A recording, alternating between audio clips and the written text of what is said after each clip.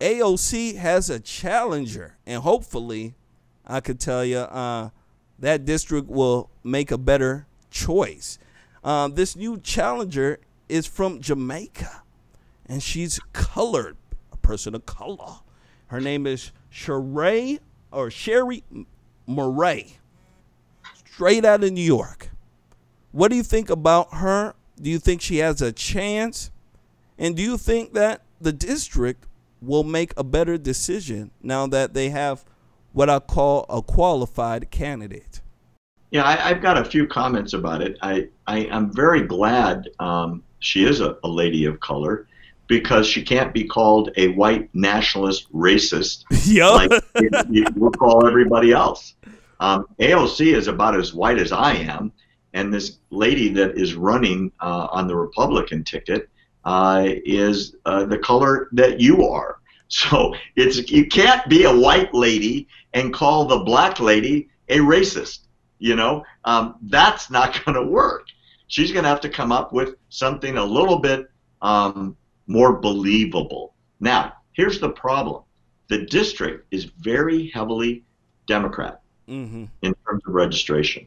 People have to be really angry to cross over from their normal I vote Democrat for the last 20 years kind of mentality to I'm going to vote for the lady from Jamaica because I'm so fed up with AOC. So, in regards to that, my expectation is that she's going to get primaried. And what that means is it's very, very rare, very rare for someone to win the way AOC did, which is she beat Joe Crowley in the primary.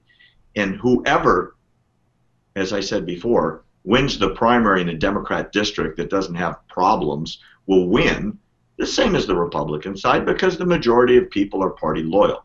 If somebody primaries her on the Democrat side in the summer of 2020, next year, and beats her, that person's going to Congress. The question is who's going to step up in the Democrat Party to come after her? I bet you there will be some people. And if the campaign is organized well enough, they don't have to say what they stand for, Jermain, to win. All they got to do is say, this is what the hot dog stand lady slash bartender has done in the last two years. And this is what the hot dog stand lady slash bartender has said in the last two years. Is this what you want for the next two years? And if people just look at that, Jermain, they would vote for Daffy Duck in the primary just to get rid of AOC.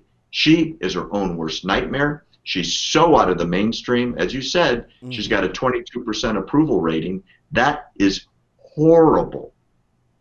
As bad as people say Trump is on the Democrat side, his approval rating is two and a half times that. I swear. and you know, when I look at uh, this uh, woman here, and she she really uh, stepped out of nowhere in my eyes. Um, a lot of the crowd here is saying that will she be a RINO?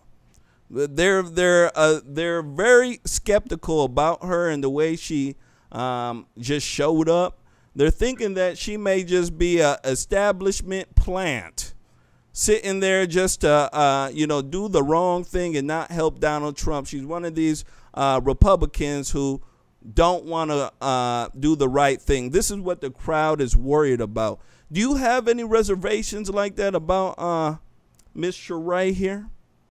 Her background is just literally unknown. I mean, she's an immigrant from Jamaica. She's self-made. Um, I, I, watched one interview uh, with her on uh, the national news. I think she was, um, if I remember correctly, she was interviewed by Sean Hannity. Uh, she's pleasant. Uh, yeah, she's soft spoken. Yeah, she's well spoken. Uh, she's classy. Uh, she presents herself well. Uh, she's not a um, you know twenty something child like AOC. and and and I think, absent some skeleton in her closet, uh, she may have a shot at it. Uh, we just don't know enough about her yet. Um, I, I almost feel like, as I said a minute ago, as long as there's nothing bad there, and if her campaign can just tell the story about AOC. If AOC makes it through the primaries, in other words, she's not primaried, or she is and she wins, then this gal or someone else like her may have a good shot uh, to beat AOC. And it won't be because she's terrific, it's because she's not really bad. Mm-hmm. And boy, is that pathetic.